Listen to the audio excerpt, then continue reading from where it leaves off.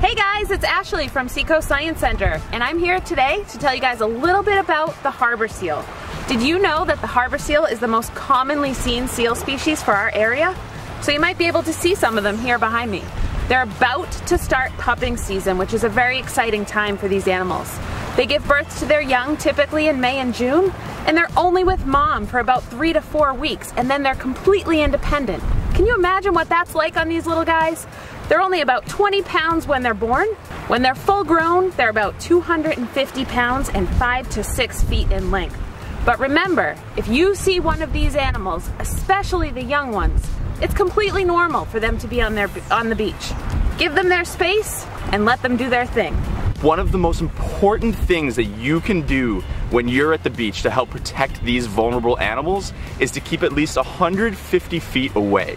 All seals are protected by the Marine Mammal Protection Act, which makes it illegal to approach within 150 feet of these animals. So I'm gonna show you a quick little tip to help you gauge that distance, and I'm gonna show you how far away 150 feet really is.